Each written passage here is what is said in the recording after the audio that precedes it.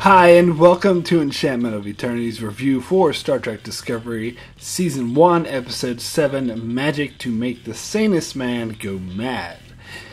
This video is a part of a series of videos where I review episodes of Star Trek Discovery. Uh, so I'll have to start with the spoiler warning for Discovery up to Season 1, Episode 7. If you haven't seen up to this episode, you may not want to watch this video, otherwise, some things may be spoiled for you. So, this episode was fun. I, I kind of like this episode, and uh, I think I just think about all the people complaining about Discovery being so you know dark and dire and so serious, and there's never any levity or comedy to it, which. Actually, I don't think is true. I think there's plenty of moments of levity and comedy in the first six episodes, but this episode in particular is a really lighthearted, fun romp. Now, granted, there are serious things about it, the people dying and whatnot, uh, but I think it works really well. Uh, and I'm actually surprised at how well they used Mudd, Harry Mudd, which I wasn't happy at all. You'll hear me talk about in my review of episode 4, which I did not like. Uh, I was not happy with them using Harry Mudd in Discovery, but I actually liked his inclusion in this episode to my surprise.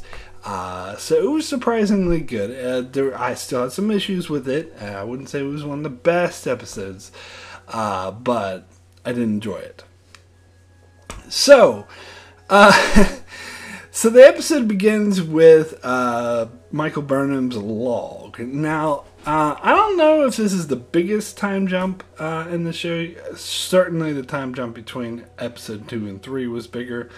Uh, but it does seem like a lot of time has passed, and this log was sort of giving us up to date on it. And she was saying that uh, one big piece of information I think she gave away in this log is that um, the uh, Federation's winning the war against the Klingons uh, which is news because they were losing before. Uh, now, I've heard some others complain that Discovery isn't showing as much of the war, while we're just seeing like little snippets, but I'm actually perfectly okay with that. In fact, they brought up Deep Space Nine. Uh, but I'd actually turn that example and throw it against them and say Deep Space Nine often did the exact same things that Discovery is doing because we never saw every single uh, Battle of the Dominion War in Deep Space Nine, they would just show us the highlights. They would give us updates, much like this log through like Sisko's log, where he'd say this is how the war is going. So they're doing the exact same thing, but if there's something important happening in the war, we'd see it happen on Deep Space Nine, and the same thing's true with Discovery. If something is worth seeing we'll see it. We don't need to see every tiny little battle like the whole entire show. Doesn't need to focus on the war, just like the last two seasons of Deep Space Nine didn't always focus on Dominion War. There were like I would say the majority of episodes actually had nothing to do with the Dominion War. So uh, I'm perfectly fine with this, and I'm fine getting this update. It is interesting, though, that the Federation's winning because usually, and if you compare it to Deep Space Nine, Deep Federation was always losing the war, pretty right up until like towards the end. They were always losing in order, and they did this. Writers did this course to create tension, say the situation's dire, and they've been doing this on Discovery until now. So it's quite a change that they're saying, "Oh, we're winning now." Uh, usually, that's you know a roadblock in terms of writing because it doesn't have uh, set up for you know oh things are so dire. We need to win. We're losing. We need to do something which is even shows like Stargate would do this a lot. Would be like oh we're impossible. We're gonna lose. We're gonna lose. We're gonna lose. And they do this in order to create tension. I actually if they manage to pull this off Federation winning uh, in order to create more writing opportunities, and I'm going to give the writers a shitload of credit because I actually think that's kind of a crutch. Even though I do like Deep Space Nine, and I do like Stargate, I think that's a crutch that they use far too often. Oh, we're gonna lose, we're dying, ah, in order to create tension. So they can create tension in good story.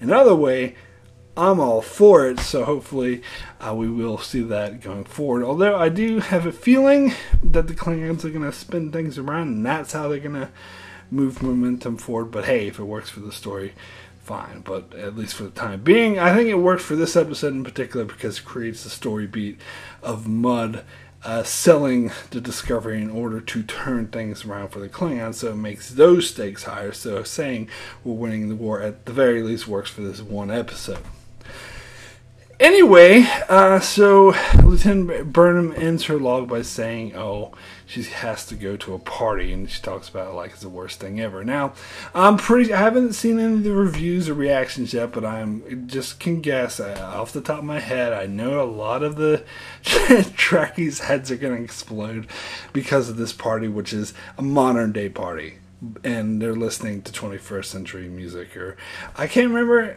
off the top of my head i'd have to watch the episode again but there were specific pop songs that are popular.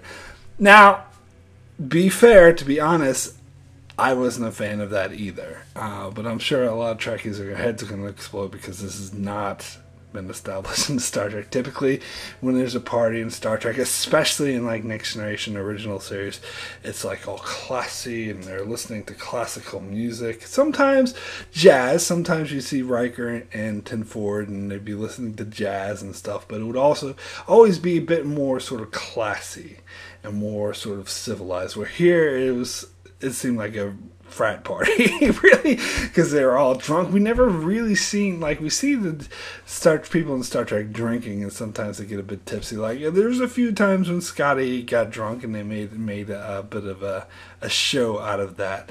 But we never here. It never seemed like a frat party like it does here. Like they're just drinking. Like Tilly was a bit drunk, and there's people making out in the corner, and again like Next Gen skirted this. You did see some people making out in Ten Forward, but it was never like this.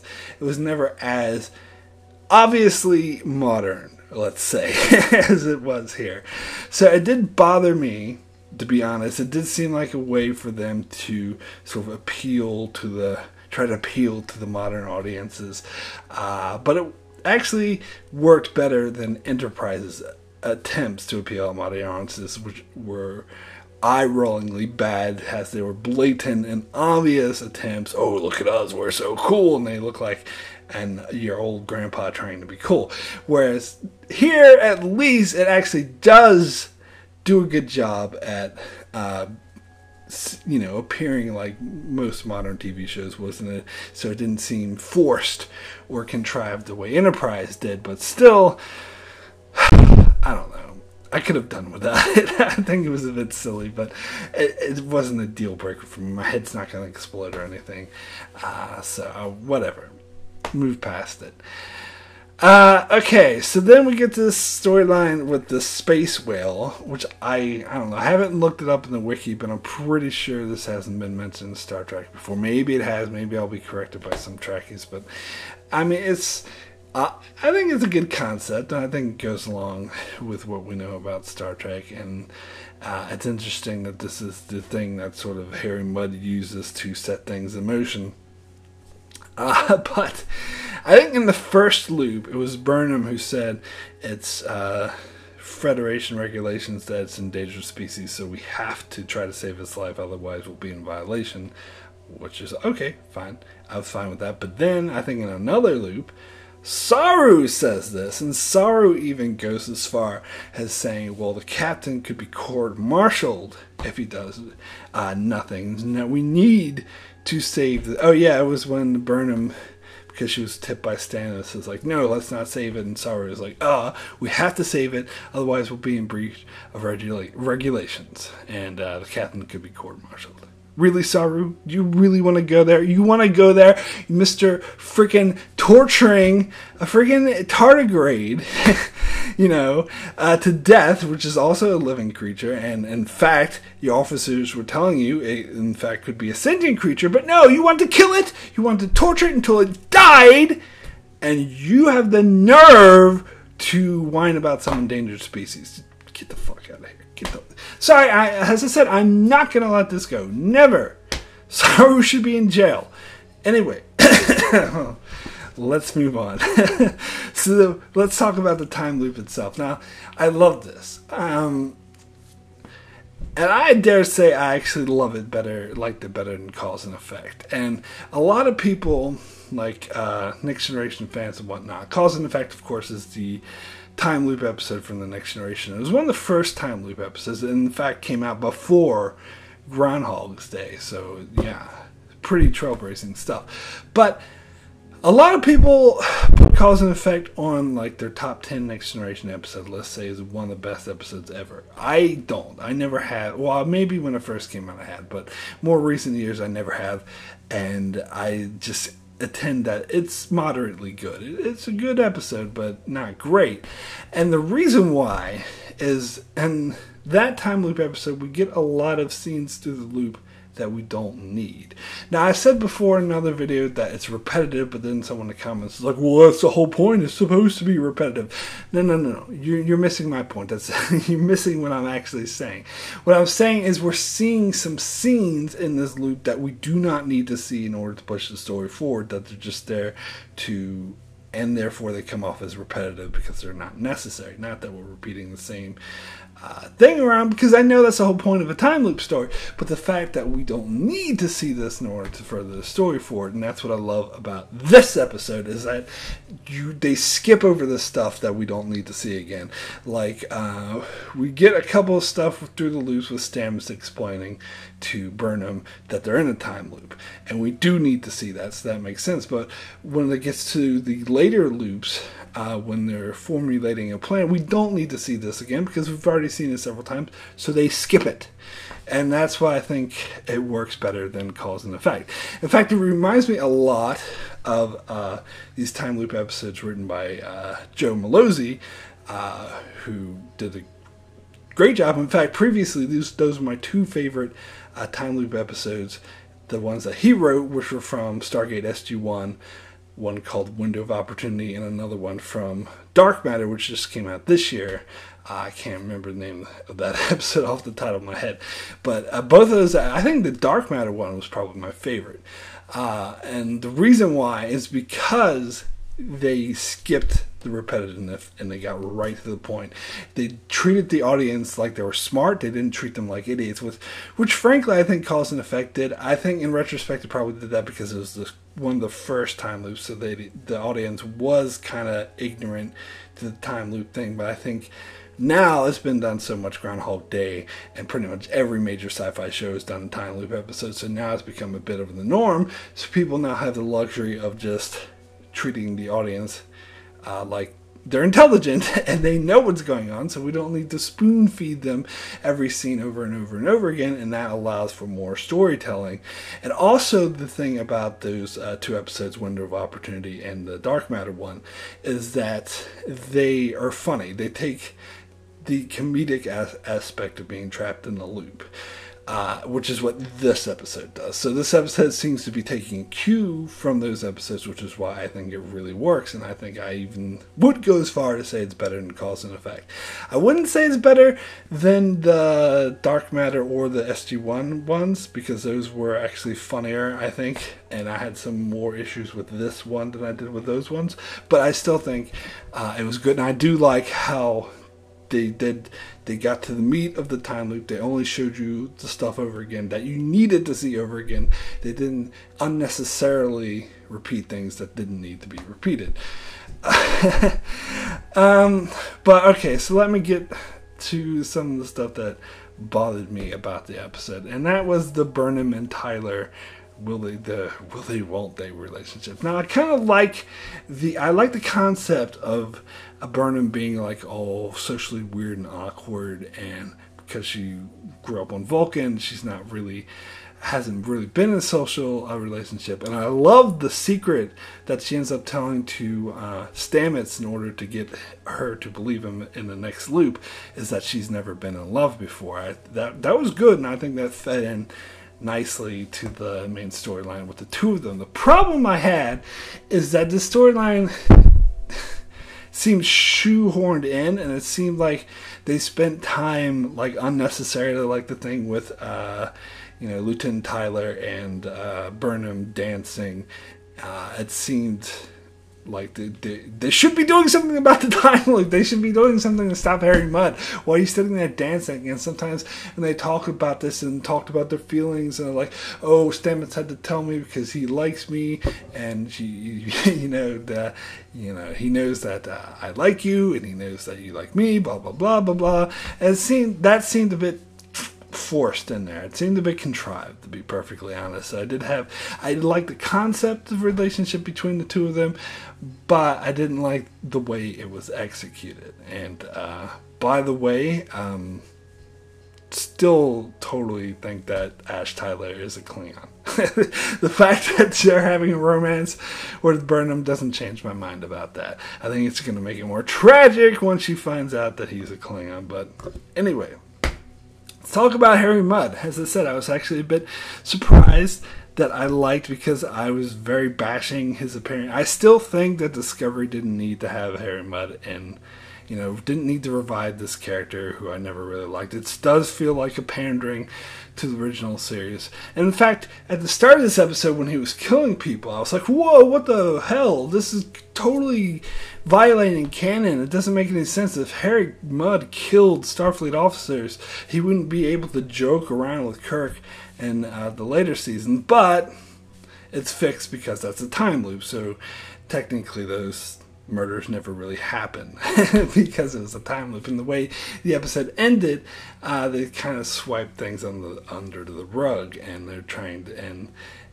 I love I love the way they did this, and of course it tied into uh, canon into Harry Mudd's character because if you don't remember, the character Stella was mentioned in the original series in this episode where he was in a world with androids and robots. He purposely created an android of his ex-wife Stella, who in that episode was portrayed as much older and much uh, let's say, less attractive. and uh, so he created this android of her who would nag basically and be like, Harcourt Fenton Mudd, you need to clean your room, blah, blah, blah, blah, blah, and you good for nothing, and just nag and nag and nag. And so Harry would be like, shut up. And she would shut up. So that was the whole purpose of uh, creating uh, the android to have of her as his first wife, as he explained that uh, so he could finally just shut her up and take enjoyment out of it. So that's sort of so it actually makes a lot a lot of sense how this episode ended and how basically she was just someone a mark, a rich mark that he swindled. Like he talked about her the previous episode and this episode, it's my sweet dear Stella, but we learned that of course is bullshit. She was just a mark because her father was rich. He married her so he could rip her off, and of course uh, they catch up to her. And I love how it was part of Burns' uh, schemes was to get her, you know, basically trap him in this marriage, which apparently he'll be trapped in for many years because the android and that uh, series is much older, and which is why he holds so much hate and contentment for her. Uh, which, by the way, uh, if you're not familiar with that original series episode, Kirk's punishment for Mudd at the end of the episode, once uh, he gets a better Mudd, is to force him to live with a whole bunch of different Android versions of Stella that he cannot shut up and that will just constantly be nagging him for the rest of his life. so, in a way, this episode ends in a similar way to that one because they uh, trap him with the real Stella. Um, so I do I do like the way that tied into everything. Uh, I still think maybe it was a bit too much to have him all gung ho and wanting to to start a war with the Klingons and hating Starfleet so much. He's never really been shown to, to go that far of a degree of hatred towards Starfleet or Federation. And you think by what they did to him at the end of this episode, that would actually make his feelings for Starfleet worse, not better.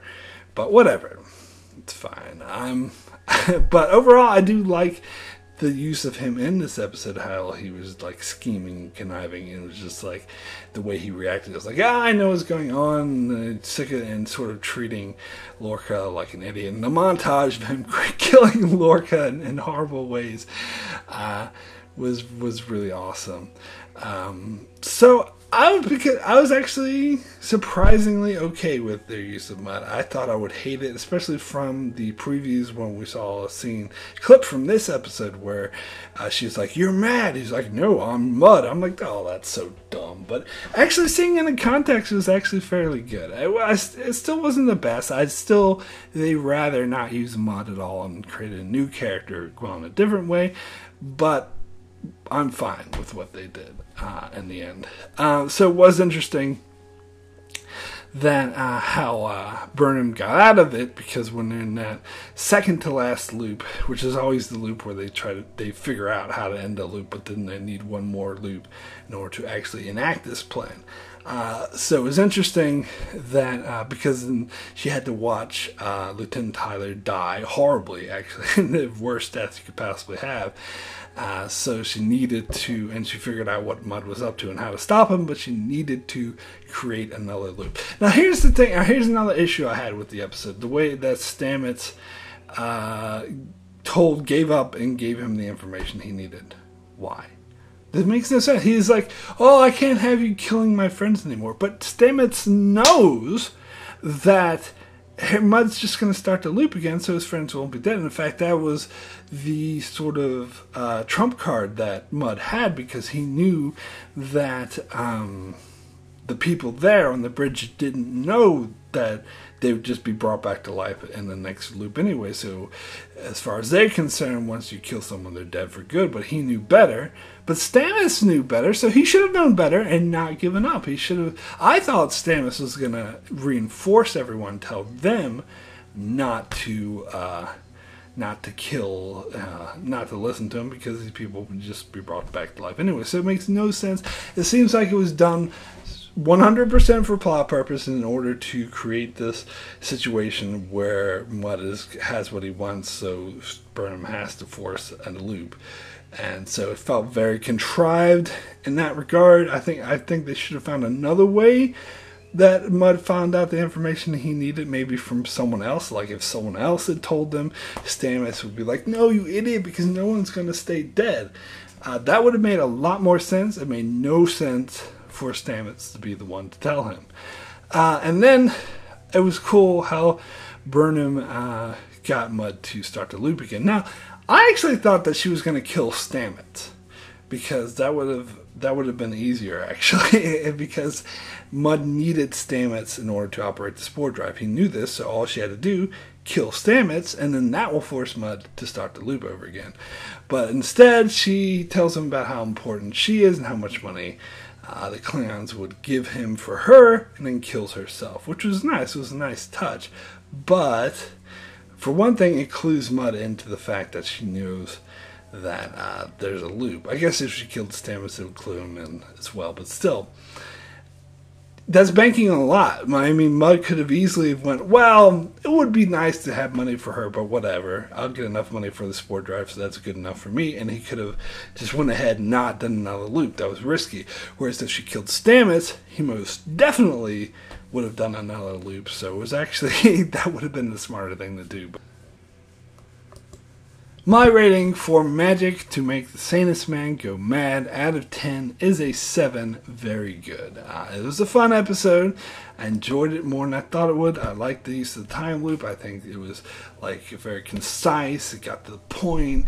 It had some funny moments, but it also had some very contrived moments as well. Uh, especially like trying to shoehorn in this Taylor, uh, Tyler, and uh, Burnham uh, relationship. Uh, a little bit fake, and the whole thing about uh, you know the way that Mudd operated this plan and killing people and whatever, and then Burnham uh, killing herself when she should have actually killed Stamets. So there's some issues, but overall, enjoyable episode. I did like it a lot. I did. I think it was a fun episode. So there you go.